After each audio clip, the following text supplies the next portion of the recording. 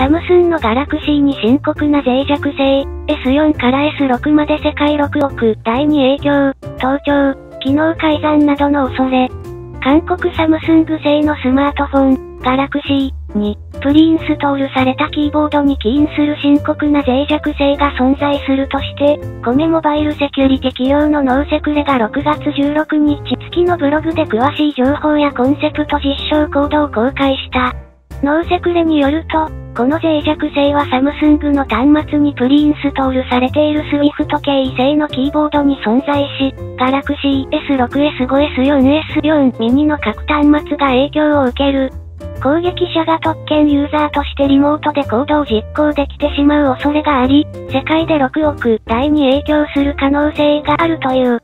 この脆弱性を悪用された場合、端末のセンサーやグプス、カメラ、マイクなどへのアクセス、悪質なアプリのインストール、他のアプリや電話の機能の改ざん、メッセージや通話の盗聴、個人情報へのアクセスなどに利用される恐れがあるとしている。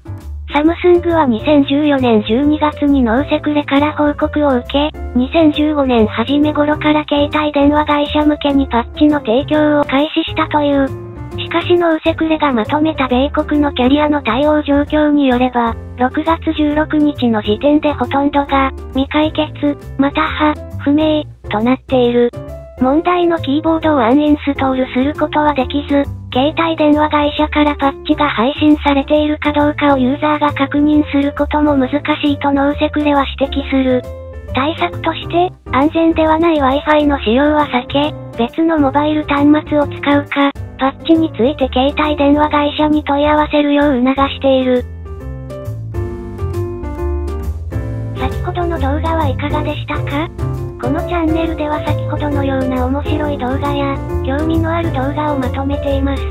オリジナル動画も作っていく予定ですので、よかったらチャンネル登録お願いします。